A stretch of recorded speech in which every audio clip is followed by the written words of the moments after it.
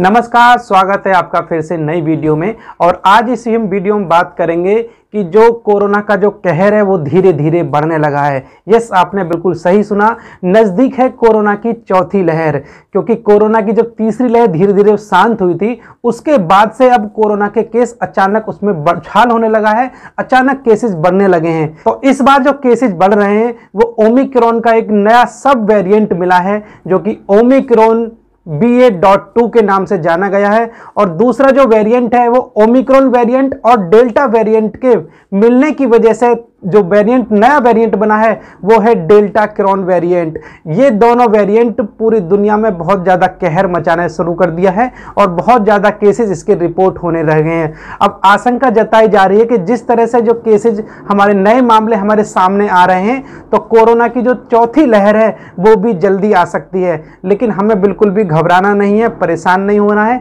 क्योंकि हमने जिस तरह से कोरोना की तीसरी लहर और बाकी लहरों से हम निपटे हैं, उसी तरह से हमें अपना बचाव रखना है और अपने काम भी करते रहने हैं, साथ में कोरोना से बचाव भी रखना है।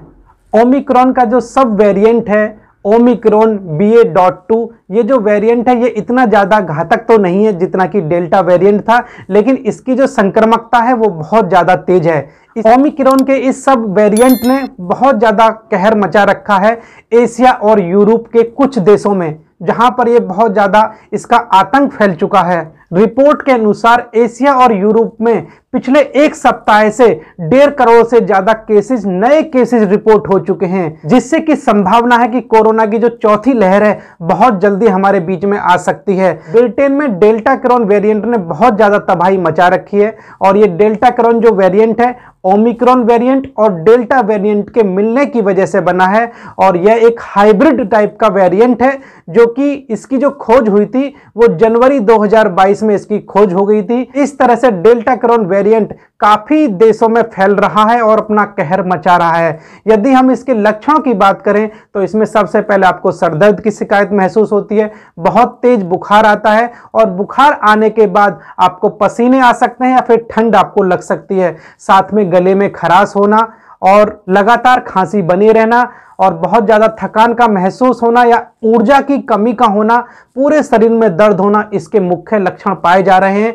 और दूसरा जो सब वेरिएंट है omicron B A dot two यदि हम इसके लक्षणों की बात करें, क्योंकि स्टडी इसमें बताती है कि इसमें विशिष्ट दो लक्षण बहुत ज़्यादा देखने को मिल रहे हैं।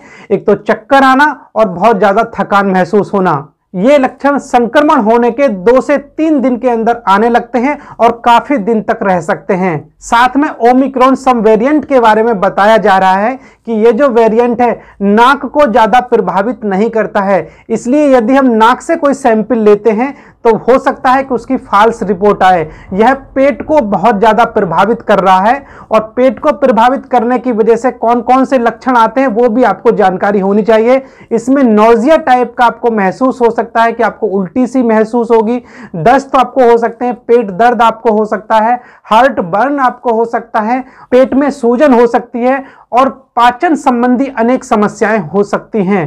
तो ये जो लक्षण है, ये नए वेरिएंट जो ओमिक्रॉन का नया वेरिएंट आया है बी ए डॉट टू तो इसमें ज़्यादातर देखने को मिल रहे हैं। खास में अन्य लक्षण भी होते हैं, जैसे कि बुखार आना, खांसी होना, गले में खराश होना, सिर में दर्द बना होना, मांसपेशियों में दर्द बने होना हृदय गति का बढ़ जाना, इत्यादि ये जो सारे लक्षण हैं, ये ओमिक्रॉन का जो नया वेरिएंट सब वेरिएंट जो आया है, उसमें ये देखने को मिल रहे हैं। तो हमें बिल्कुल भी घबराना नहीं है, बिल्कुल भी परेशान नहीं होना है, क्योंकि हम सब जानते हैं कि कोरोना से कैसे बचाव करना है, कैसे इससे लड़ना है और कैसे अपने आप को बचाते हुए हमें काम करते रहना है।